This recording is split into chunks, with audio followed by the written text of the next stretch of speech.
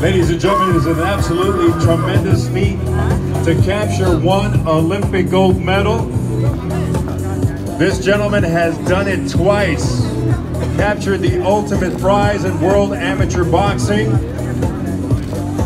Beijing 2008, London 2012. And now, he looks to remain one of the top fighters in the world, capturing his third world title, the quickest to ever do so as a pro.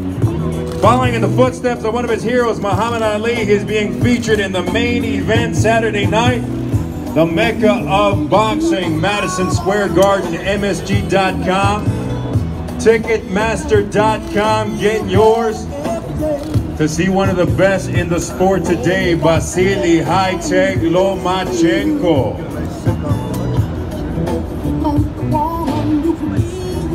Yeah.